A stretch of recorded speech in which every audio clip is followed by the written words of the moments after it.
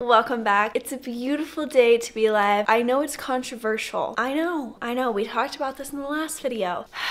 I, Whitney Simmons, I do not enjoy fall.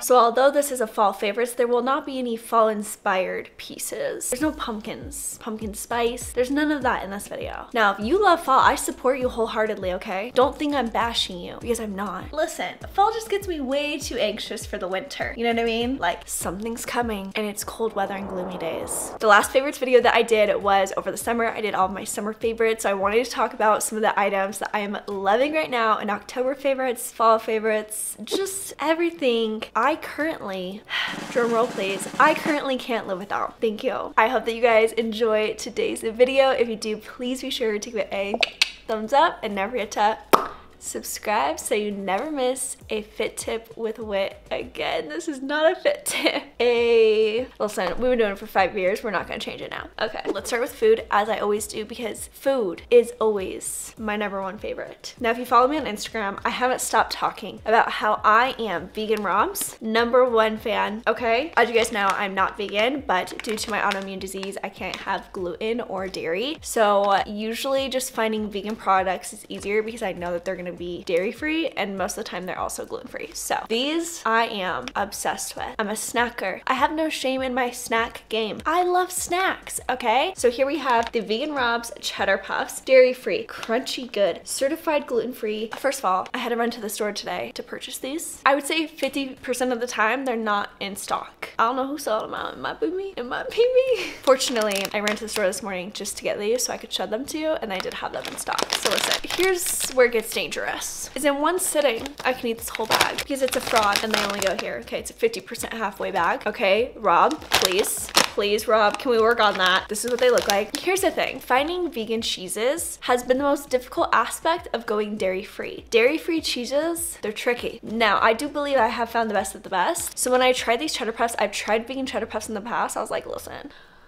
Mm -mm.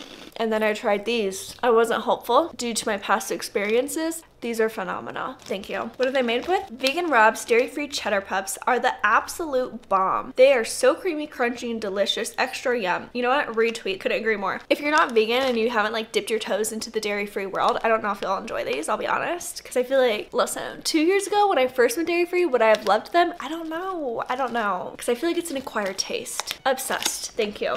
Even more obsessed. The Vegan Rob's Dragon Crisps. You guys know I'm a baby back B word when it comes to spice. I can't handle it. Can't hang. These, they're just not too spicy, you know? They're perfect. I was obsessed with these for the longest time and right now I'm enjoying these. I hate to say it, but these are my number one right now. They're so good. They're exactly like Pringles. They're not too spicy, gluten-free, dairy-free, vegan. The smoky spicy cool snack is in thin light. It is absolutely unique and delicious. We put the dragon in a can for you. These crisps are crunchy and addictive. No, truly they are addictive. I am truly addicted to these. You know, ate the last can last night, went to the store first thing this morning. It's an addiction. If you're looking for a new snack, try these first and then maybe if you're already acquired to the dairy-free cheese, then maybe try the cheddar puffs. These, wow. Just wow. I love snacks, you know what I mean? I'm always on the hunt for a new snack. I need something to snack on throughout the day. I need it. I can't help it.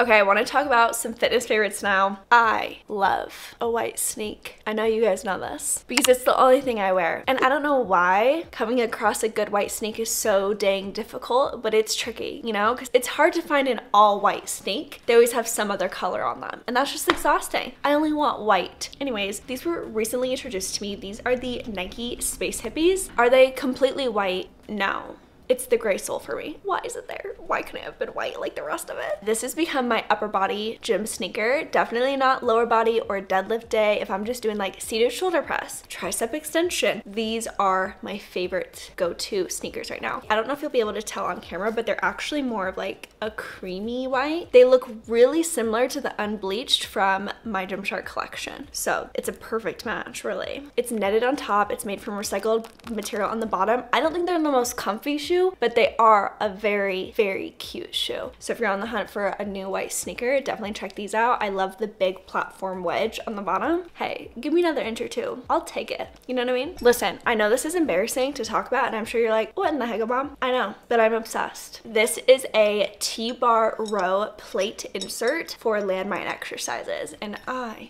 have been obsessed with, I know my Instagram family knows, I've been obsessed with landmine exercises. Upper body day, lower body day. I'm doing a ton of landmine exercises, and this has just been so perfect. Now, do I think you could purchase this and take it to the gym with you if your gym doesn't have a landmine post? I do. It's a little heavy, you know, it's gonna weigh down the gym bag a little bit, but if you're working out from home or like your gym doesn't have landmine and you desperately wanna do a landmine, I just got this off of Amazon and it's so nice. You just pop it into a plate on the floor. So I usually will pop it into a 45 pound plate. It sits right in there and then I can do all of my landmine barbell exercises. And I've been having a hoot of a time. You know what I mean? Really switching up my game in the gym. I know it's embarrassing to talk about. I am embarrassed that I put it in a favorites video. It just seems like a revolutionary product to me, you know? That's all I'm saying. I want to talk about some beauty and hair care products that I am obsessed with being understatement. I was trying to think of a more powerful word there. I don't have one on the tip of my tongue. Okay, you guys know I've been on this hair journey. I had a mullet at one point because my hair was so dry, it broke off. You know, my body wasn't getting the nutrients that it deserved. So my hair was really suffering and it has been a hair journey to try to get my hair just a little a little more hydrated. I live in a very dry climate as well, which is why I have dry skin, I have dry hair, I live in a dry climate, it all accumulates, and I'm left here with my hair breaking off and my skin flaking at the drop of a hat. You know, a little scratch, flakes. This is the hair mask I have been head over heels in love with. I'm almost done with it. I need to order a backup. Look at that. Obsessed. This is from DAE Hair Care. It is the Monsoon Moisture Mask. First of all, it smells absolutely delicious. It smells like a man, you know what I mean? It's a very musky scent. That's a scent I love. Don't bring me something sweet. Bring me something musky. Big fan. It's super, super thick. A little bit goes a long way. So I will shampoo, I will condition, and then I will go in with this moisture mask. And this girl, she's got my back. My hair feels so hydrated. I was really struggling with my ends. Listen, my ends were really scaring me. I was like, please, I can't cut my hair off again. I have a wedding in 11 months, okay? I can't cut my hair off again. So this has been a lifesaver for me and my hair. I love it. If you're on a hunt for a new hair mask, you need a little bit of moisture. You love a musky scent. I'm ordering a backup.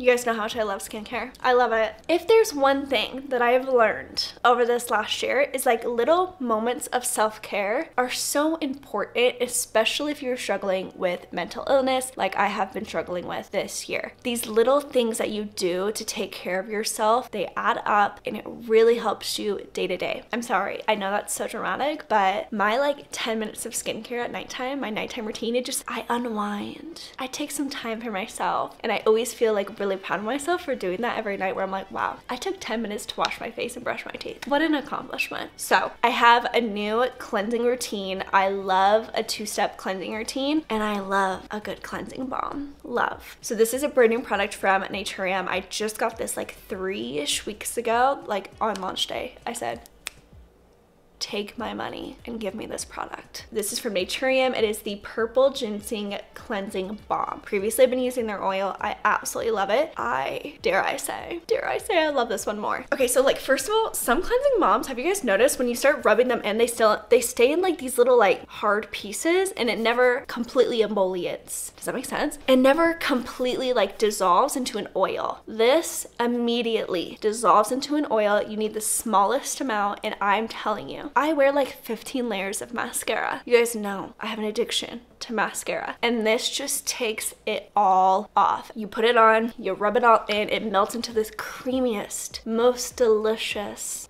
hydrating oil. But then when I rinse it off entirely, nothing is left on my face. My face doesn't feel stripped, but I don't feel like I have any residue on my face. So that is why I absolutely love this product because especially it doesn't hurt my eyeballs because there will be times where I like, I'll take a scoop of a cleansing balm, I'll go into the shower, I rinse rinse my whole face, wash my face, do the whole thing, and my eyes are bleeding. Bleeding. My eyes are in so much pain. So there's been a, quite a few like cleansing oils and balms that I haven't been able to use anymore because they hurt my eyes and they like linger. Not this bad boy. So if you're on the hunt for a new cleansing balm, you're looking for a more affordable option, definitely check this one out. I love it. I just love that it melts right away. Listen, I'm a big fan of Naturium. You guys know this. And I'm a big fan of Susan Yara. So am I biased? Yes Thank you. So after I do my cleansing balm at night, I will go in with this Skinfix Barrier Plus Foaming Oil Cleanser. This is a replenishing non-stripping face wash and the non-stripping face wash part is exactly why I love it. First of all, I was really confused because when I read a foaming oil cleanser, I'm like, but I already have my oil. So what am I gonna do with this? So I thought this was an oil, but it's not. It's like this really, it's a very creamy, see,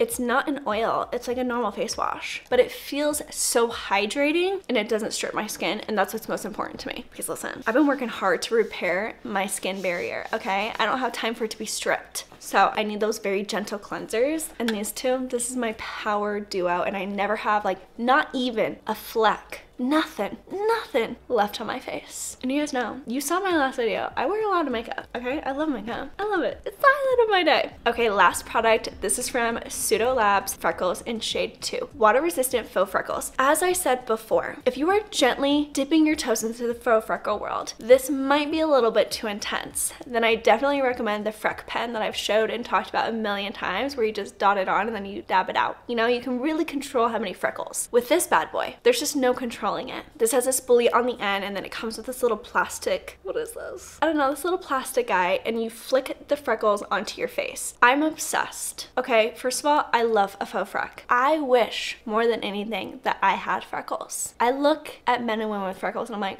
wow, how insanely beautiful. Unfortunately, I don't have many. So a product like this, if you like faux freckles, I know, I know. You either love them or you hate them. I and this will give you the most realistic faux freckle effect you can get because it just splatters everywhere and then I'll take my finger and dab it in. If you need a quick tutorial on how to use it, I showed how to use it in my last video. So I will link that below if you haven't watched that video yet. I show exactly how to use this product. I use shade two, there's three shades. I have three as well and sometimes I'll do three, but two on me and my complexion and with my darker hair color is the most realistic. Okay, you guys, you know I don't gatekeep, but I was thinking about it. I was thinking about with this one product, I might have to keep it for myself because this is my only, this is my fall wardrobe. Every single time that I leave the house, I am wearing this.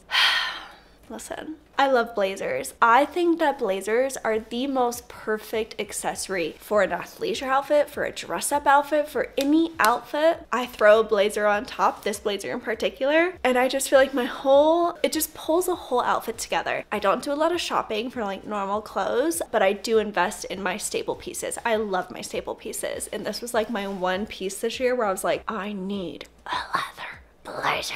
So I did a lot of shopping, I did a lot of ordering, and I did a lot of returns until I could find the perfect leather blazer. This is the perfect one for me. I'm not saying that you need this leather blazer, but I am saying that you might, you might need a leather blazer into your fall wardrobe this year. So this is my girl. Like truly this is my girl. It's embarrassing how much I've worn this leather blazer. I don't know, something about it. I love the pockets. I did lose a button that I do need to sew back on. I don't personally know how to sew, but my sister, I'm gonna see if she can sew back on her. This is super oversized and I ordered it in one size up. So this is a medium and I'm telling you like, it's really embarrassing how much I wear this blazer. I'll be wearing like a matching, like I'll put on a hoodie and sweats, pop my blazer on. I'll be wearing my biker shorts with a sports bra, pop my blazer on. I'll be wearing an oversized tee, my cycling shorts, pop my blazer on. I, uh, blue jeans with like a black bodysuit like this and this blazer. I mean, it's that item that I will have in my closet for years and years to come. I love how oversized it is. I love that when I'm standing up, it covers my bum. It's just like big. It's like, listen, it's cold and this kind of keeps me warm. Will I be able to wear it all through the winter like when it's like pouring snow outside? I don't know. I don't know, but I will report back. Here she is. I'm obsessed. This is a fall wardrobe must have this year and probably next year and many years after that. So fall blazer, that's my girl. I didn't want to tell you about it. I didn't want to tell you about it. But it's just been like, I just love those pieces that you have in your closet and it can go with everything. Like truly anything. And then you get your money's worth out of them. You have them for years to come. They get a little more worn in the more that you wear it. And it's just like, come on. Are you kidding me? That's my favorite. I was thinking of doing a video where I take like some of my favorite gym fits and show you how I take them out of the gym. You know what I mean? Like, let me show you how to take my favorite gym fit and make it athleisure. And that key, key product. All right, you guys, that is going to wrap up this favorites video. I hope that you guys enjoyed it. Of course, I will link everything in the description box below. Please, for the love of all things holy, let me know what you want to see next. We have a full day of eating coming. We have a week of workouts coming. Maybe the athleisure video coming. If you guys want to see that, let me know. I love you guys so much. Thank you so much for being here. And until next time, I will see you next time.